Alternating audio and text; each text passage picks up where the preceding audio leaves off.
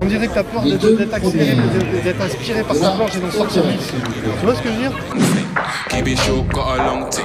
She was down when I said I pick her up. Pour le triple saut, c'est euh, tout d'abord une course de dents.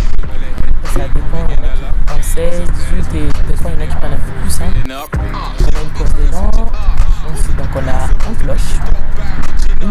I'm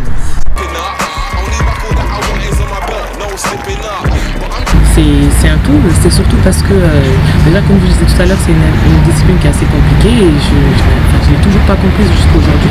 Et c'est ce que j'aime, Et j'ai- j'apprends toujours et c'est génial. J'arrive à l'entraînement entre midi et demi et midi 45. Je m'entraîne deux heures, généralement c'est deux heures. Donc euh, ensuite je rentre, je mange, je fais la sieste comme vous dit. je goûte. Et euh, je retourne à l'entraînement du coup, euh, le soir à 18h jusqu'à 20h. Et euh, en période de chargée, je m'entraîne 7 fois par semaine. Et en période un peu plus creuse où quand on enchaîne les compètes, c'est 5 fois.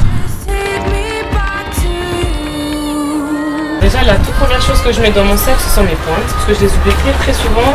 Des fois, JC n'est pas très content, mais bon, Mon rouleau de massage, je ne l'oublie jamais. Ça, c'est vraiment mon meilleur ami. Mon huile de massage. Ma boule pour me masser la boule plantaire pour l'assouplir un peu. Après mon décamètre, ça c'est vraiment le truc que je n'oublie jamais aussi. C'est comme les pointes. Et surtout mes écouteurs ou mon casque parce que je ne cours jamais sans musique, c'est quasi impossible. Et la chose la plus importante, c'est mon passeport.